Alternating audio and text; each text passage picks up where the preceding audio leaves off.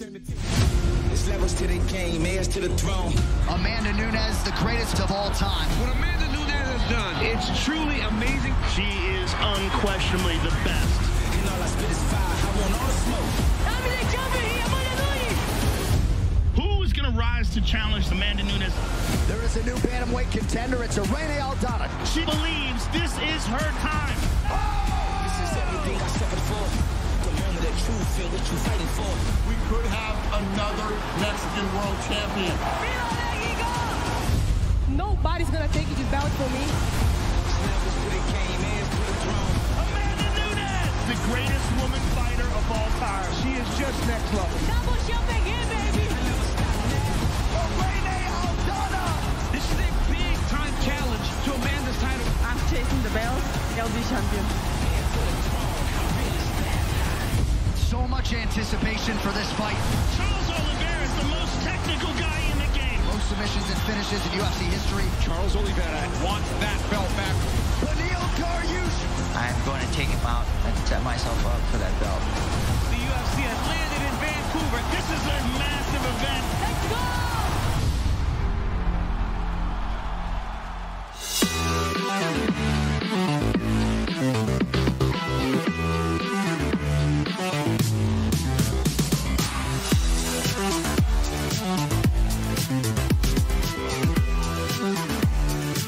Newark, New Jersey, thank y'all for coming out. My name is Jon Anik. Welcome to UFC 288 Fight Week.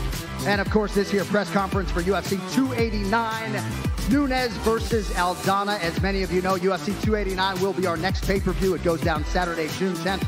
Rogers Arena, Vancouver, British Columbia, Canada. And that'll be our first live event in Canada since 2019. Needless to say, they're very happy to have the combat sports leader back in the Great White North. Our main event will be for the UFC Women's Bantamweight Championship. And first to the stage today is the number five ranked UFC Bantamweight contender. Eight career wins by knockout. That includes her last three in the Ultimate Fighting Championship. Please welcome your next world title challenger out of Mexico, Irene Aldana.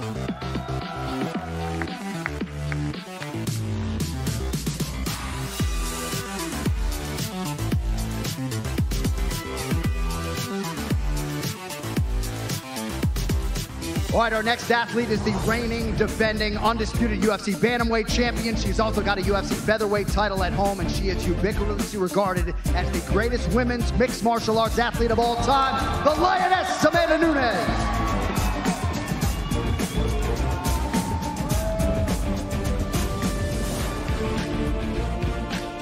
All right, folks, we've got 20 minutes or so right now with two of the best bantamweights in the world. Who has the first question? I think maybe my man Oscar. Go ahead, sir. Question for Amanda Nunes. Amanda, obviously, an opponent change for you. When did you hear Juliana was out of the fight and you'd instead be fighting Irene? Honestly, this is the original opponent right there. You know, me UFC was back and forth, and we we discussed about Dana, and something changed, and they come out with Juliana. So now we are here with the real opponent. I'm very happy about it. Less heavy as well, you know. So and I'm excited. Do you believe Irene should have been the one fighting you in Vancouver anyway, not just Juliana? Definitely. After what I did with Juliana in her- in last fight, it's no question, you know. So now she's here. I'm very happy for her, and now we're gonna see each other soon. Do you believe this is the tougher fight because of her excellent boxing and her general ability? Honestly, at this point, like all those girls is very tough, you know. I just get my shit together, get ready, you know. And this is exactly what I do. Go to the gym, be motivated. I'm a lioness. I'm a hit to hunter. Eh, and so I'm ready for Vancouver. And I'm very excited with this opponent, you know. So Aldana is very, very, very tough. You know, she can she have heavy hands, so she's technical. And that's this is gonna be so fun, you know. So I'm heavy. I have heavy hands as well. I'm well around, so you guys have to be excited for this. So You mentioned her striking ability. You're obviously a fantastic striker as well. Does this have the potential to be a stand up war? honestly, like five minute rounds, everything can happen. You know, I'm gonna strike if if if I want. I'm gonna wrestle her if I want. So this can go anywhere. So I feel like she's gonna be ready for. This is gonna be a very good back and forth. Can be a knockout. can be a finish. And if you want to go to five rounds, you're to go anyways. So this is a championship fight. You guys can be ready. Anything can happen. Irene, for you, how excited were you to get the call and be told that you're fighting for the world title? Well, definitely very excited. Um, I'm fighting the greatest of all time. I, I, respect Amanda a lot. I'm grateful for the opportunity. Thank you. And we're ready. I think she said it all. Yeah. What would be more important to you, winning the world title or beating the greatest of all time? I mean, having the opportunity is already big for me, and to be able to perform with and to share the octagon with Amanda, it's already the biggest accomplishment ever. Arena, just uh, right here. Um, obviously, you were supposed to fight originally May 20th. So, what did you have to do with your training camp just to extend it a few more weeks and the weight cut and everything? What adjustments did you make to prepare for the later date? Uh, just the same. It's we were happy actually. We have more time, six more weeks, extra weeks uh, to to keep sharing, to to keep preparing, and it's it's all good. I mean, not too much to change. Just adapt some things, some changes to the game plan, but everything is going good. The training camp was going great, so just keeping a little longer. And you're going to get asked this question a million times leading up to the fight, but obviously the fellow Mexican champions, there's been so much momentum and success for your teammates and your country.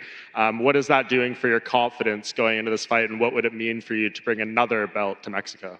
Well, definitely that's a big motivation for me, having three Mexican champions here, having Alexa as my teammate, as a, a flyweight champion.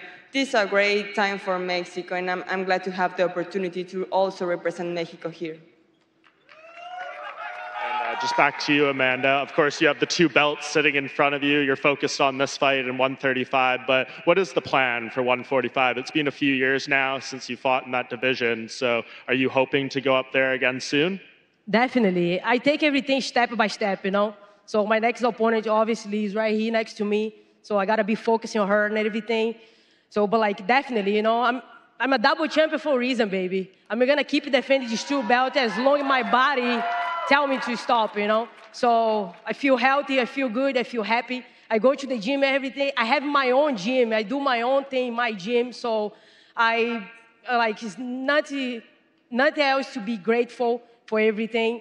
So I can't wait to like step against Aldana. You know, this is a very good opportunity for, for both of us.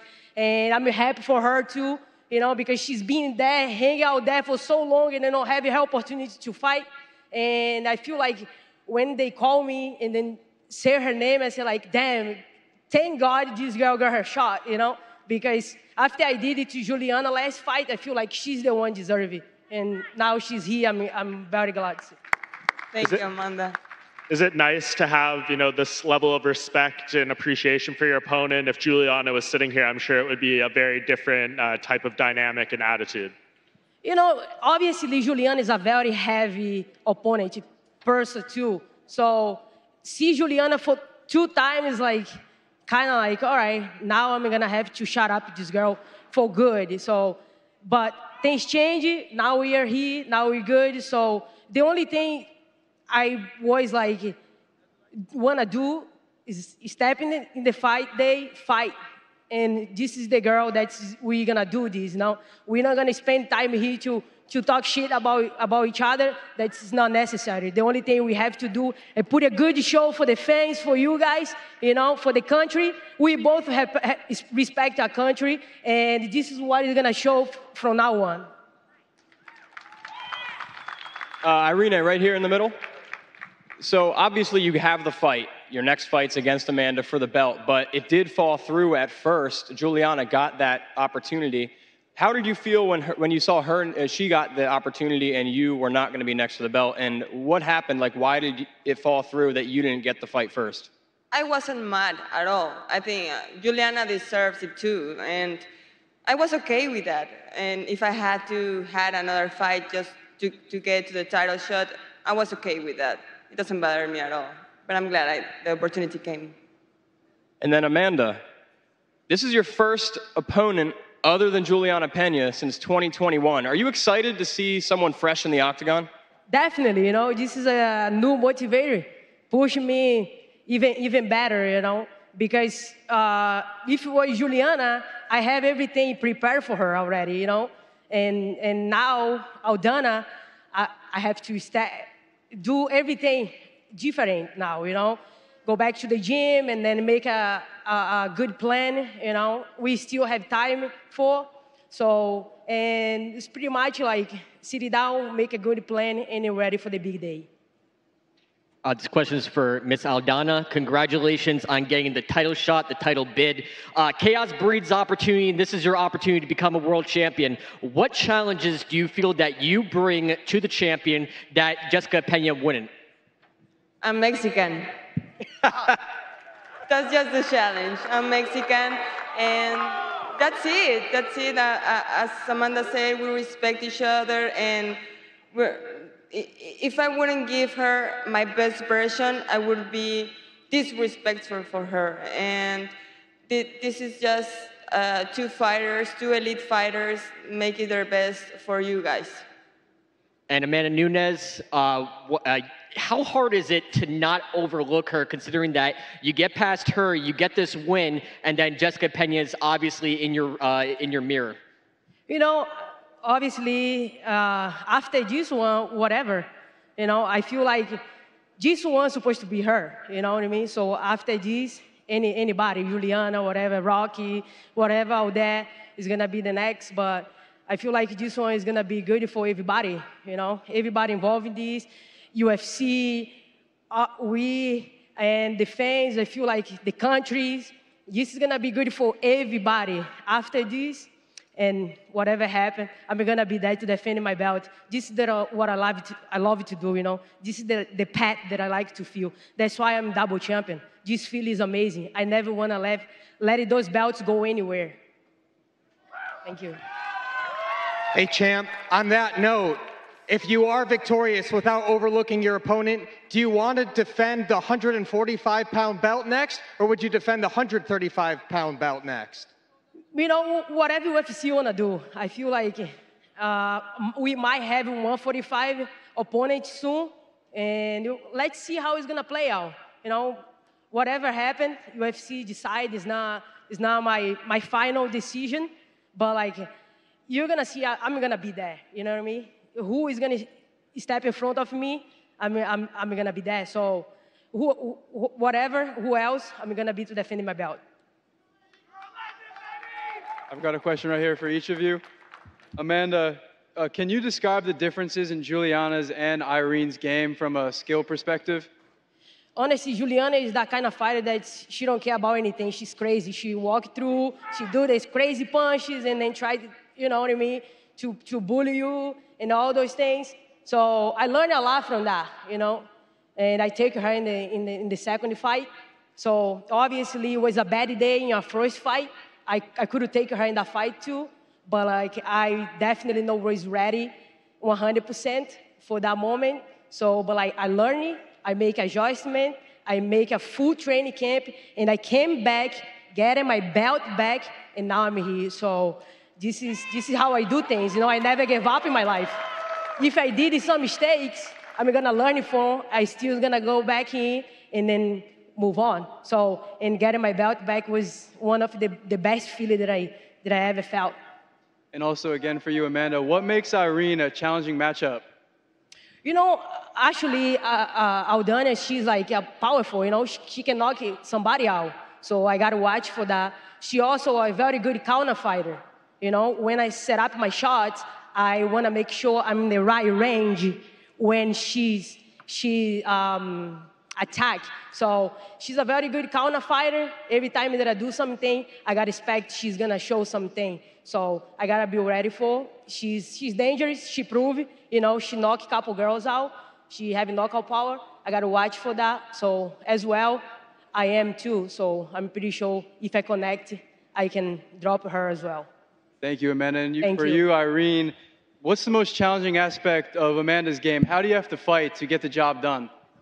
Well, Amanda is dangerous in every area. So you're facing the GOAT here. So, I mean, I, I gotta do everything well, everything, try to do everything perfect, just going after it and stay focused. just keep on the game plan, and that's it. Enjoy the moment. Thank you. All right, I think that's going to do it. I just want to say in closing, how about some respect for these two athletes in their second language, no less? No interpreter needed today, by the way. Irene Aldana and Amanda Nunes, June 10th, live on pay-per-view UFC 289. Handsome Mick Maynard's backstage. He's going to come up and uh, stare these athletes down. Thank you all for coming out. Don't forget, weigh in top of the hour right here in Newark.